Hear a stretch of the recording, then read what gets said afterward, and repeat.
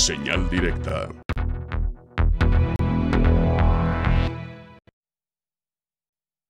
Muchas gracias por continuar con nosotros, muy amables. Avanzamos. Y bueno, ¿a quién no le apasiona la astronomía? ¿A quién no le gusta mirar lo que está ocurriendo, sobre todo cuando de repente tenemos la oportunidad de algún fenómeno extraordinario?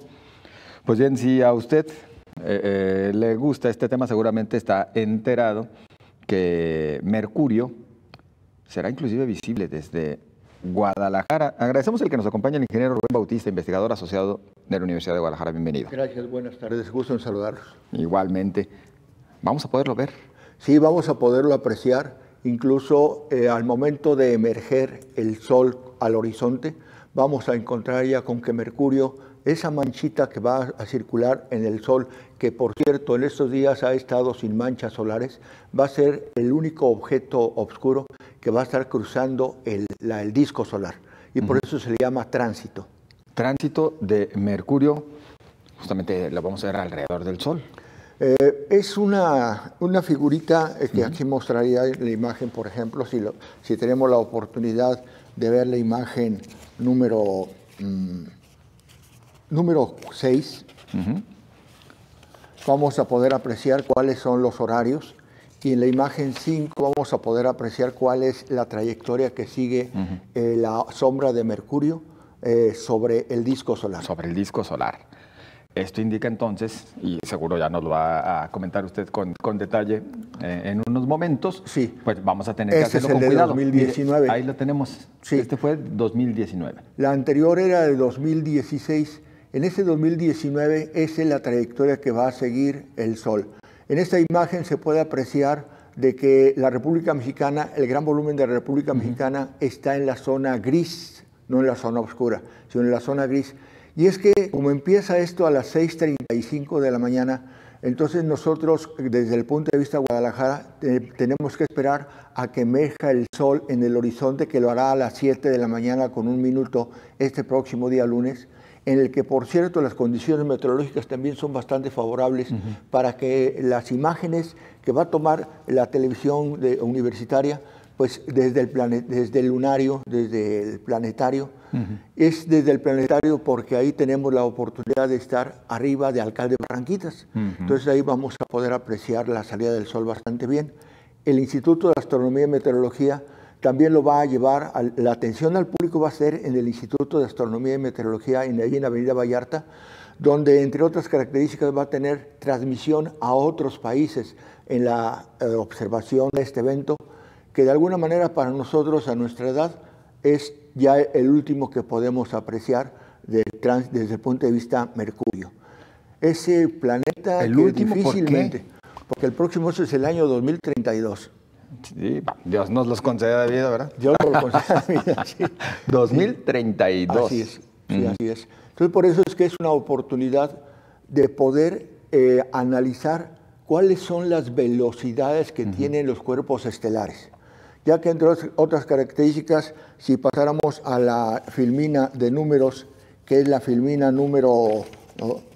número 8, la número 9, que corresponde a los números es que vamos a estar observando nosotros desde el planeta Tierra. El planeta Tierra continúa en su proceso de traslación y al mismo tiempo de rotación. Entonces realmente vamos a ser unos observadores que estamos en movimiento, observando un objeto que también está en En movimiento movimiento. como lo es Mercurio. Por cierto, Mercurio, por estar más cerca del Sol, viaja a mayor velocidad en su traslación que el planeta Tierra. Pero recordemos que también el Sol está en rotación y está en traslación dentro de la galaxia Vía Láctea. Entonces son tres cuerpos estelares en movimiento En distintos movimientos. en distintos movimientos. Y esto es interesante porque con las nuevas herramientas eh, vamos a tener la oportunidad de verificar que efectivamente nuestros- nuestra metodología, nuestras herramientas actuales Sí. son lo suficientemente precisas para poder captar estos tres movimientos. Y esto dentro de la investigación espacial es notablemente importante porque la nave que va a venir pues va a tener que encontrar una plataforma de movimiento llamada rotación y traslación del planeta Tierra. Entonces, e, es para verificar todos estos con la nueva tecnología. en el año 2032 será otra tecnología más Seguramente, por supuesto. Platícanos de, Mercurio, el planeta más cercano al, Sol. ¿Con qué características? Entre otras características es bastante más pequeño incluso que la propia Luna, que es nuestra Luna, el, satélite natural del, planeta Tierra. Eh, viaja, entre otras particularidades, a 400, eh, aquí dejen verlo, a 47.8 kilómetros por segundo, es decir, viaja a una velocidad bastante interesante. La Tierra tiene otras características, pero Mercurio en especial eh, dura más su día que su año. Es decir, darle una vuelta al Sol, que es el año, eh, tiene una duración del orden, todo se hace en, en los números, de eh, la órbita de 87 días. Y en Cambio, sí, y en cambio, si yo estoy observando un objeto fuera del, del planeta, dar 213 días en volver a, poder observar ese mismo objeto. Es decir, su año tarda más que su día. Y eso tiene consecuencias térmicas, ya que su atmósfera siendo tan tenue, porque tiene una atmósfera que equivale a menos del 1% de la atmósfera terrestre, eh, es notablemente cálida en la parte expuesta al sol y notablemente fría en la parte sombreada del sol. Más inclusive que la Tierra. Sí, más que la Tierra. Eh, estamos hablando de más cientos y tantos grados y de menos ciento, de 467 grados centígrados.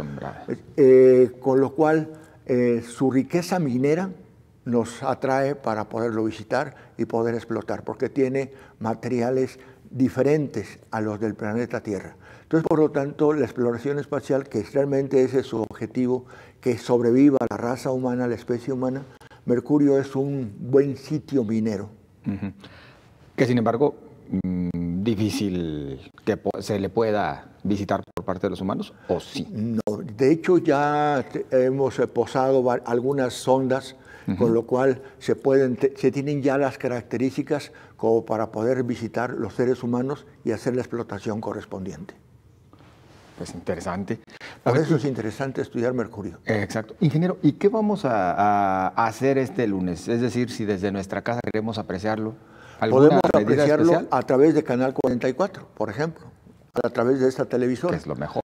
Eh, también se va a tener la oportunidad de que los diferentes, eh, bueno, por ejemplo, el Instituto de Astronomía y Meteorología de la Universidad de Guadalajara va a estar proyectando en, pantalla eh, digital la información pero también transmitiendo esta información a otros sitios y esto aprovechando nuestra posición que es bastante favorable para observar este evento.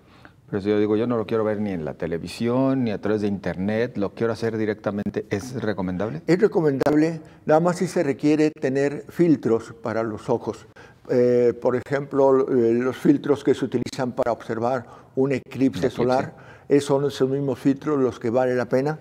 Y si quieren tomar la información, pues entonces en la página número 8, eh, página 7, perdón, eh, tenemos algunos de los elementos eh, que se pueden utilizar. Por ejemplo, uno de ellos es utilizar el lente acodado de un telescopio para proyectar la imagen que está capturando el telescopio en forma lateral.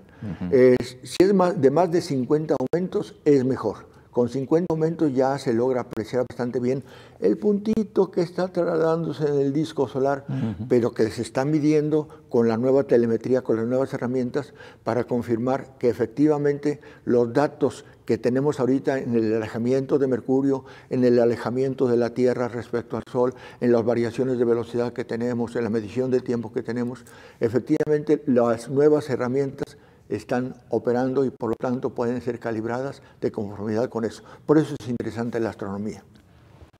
Insistir, lo que vemos sí, efectivamente es un puntito, pero este puntito conlleva mucho de lo cual debemos aprender. Sí, la enseñanza. México tiene la particularidad dentro de la historia de la astronomía mundial de que eh, un, tránsito de Venus eh, que se realizó en Japón eh, lo hizo tan eficientemente la astronomía mexicana, que fue a la que le asignaron que hiciera ese el levantamiento de esos datos, lo hizo tan eficientemente que actualmente los formatos para ser llenados fueron desarrollados en aquella época por mexicanos, por la astronomía mexicana. Oiga, ¿por qué? ¿Por qué les tocó en esa ocasión? ¿De qué manera se hizo la selección? Eh, la selección es cambiando diferentes países para que sean responsables de la observación correspondiente. Y entonces en aquella ocasión eh, nosotros estábamos mejor preparados que el propio Japón para hacer las observaciones astronómicas del tránsito de Venus. Entonces, por lo tanto, los formatos desarrollados fueron, eh, todavía se utilizan como patrones para poder llevar a cabo las observaciones astronómicas. ¿Y en esta ocasión? En esta ocasión no nos corresponde a nosotros. En las imágenes eh, podemos apreciar que nosotros vamos a empezar el evento con el sol oculto, 6.35 de la mañana, sale hasta las 7 de la mañana, entonces tenemos un periodo de no primer contacto, eh, que ese primer contacto es notablemente importante, por eso es que se hace notar dentro de los números de medición. Y eh, su entrada completa son unos cuantos segundos. esos segundos son importantes porque nos determinan cuál es el diámetro actual real del propio planeta Mercurio. De ahí llega al centro. Ese es el, máximo y eso ocurre a las 9.18 de la mañana, visto desde Guadalajara. Y también esa misma medición que se realizó al ingreso tiene que ser realizada también al final del evento para efectuar la confirmación de lecturas. Tenemos esa oportunidad, tiene que ser aprovechada. Pues hay que seguir entonces toda la transmisión desde la señal de Canal 44 sí. y también a través de, de las redes del Instituto de Astronomía. Tomados desde el Instituto de Astronomía y Meteorología.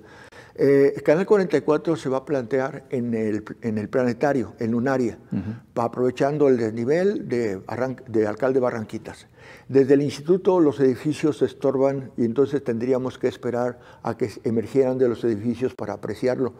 Pero aún así, eh, la transmisión desde allá va a ser abierta al público, eh, con entrada libre para que puedan acudir al Instituto de Astronomía y Meteorología de la Universidad de Guadalajara y recibir la información de los expertos. Ingeniero Rubén Bautista, muchísimas gracias. Muy Al contrario, ojalá hayamos transmitido algo de información. Seguramente, y bastante. Y más de lo que conoceremos seguramente también el, el, lunes, así que ya lo sabe, este lunes siga la transmisión especial desde las... Desde las desde aquí, desde el canal 44, desde las 7 y cuarto de la mañana. Desde las 7.15 de la mañana, entonces. ¿Y al Instituto de Astronomía podemos acudir? Sí, así es, con entrada libre. Eh, durante, al cabo termina hasta las 12 del día del evento. Entonces podemos ir desde las 7 también. También desde las 7 de la mañana, sí. Muy bien. Ingeniero, gracias. Gracias.